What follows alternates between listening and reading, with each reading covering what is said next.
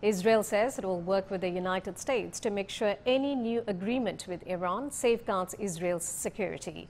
The comments from Defense Minister Benny Gantz come as U.S. Defense Secretary Lloyd Austin makes his first visit to the region. Stephanie Freid has more from Tel Aviv. The U.S. is reconsidering re entering the Iran nuclear deal that was forged in 2015 and that the uh, Trump administration then eventually dropped out of. Israel absolutely doesn't want a return to that agreement.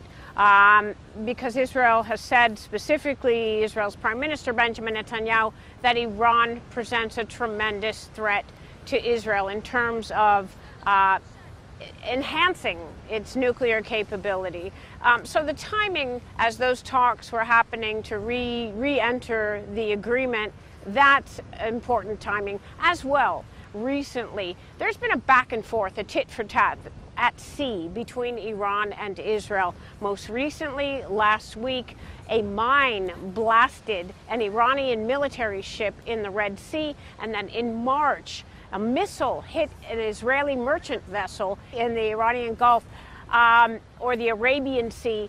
Um, that's been going on for a long time, but the the understanding or the fear is that that would escalate. Um, so right now, the timing of this going back and forth, um, of the talks, of Israel's concerns of about the U.S. re-entering um, that agreement that makes these, this meeting certainly very crucial and critical.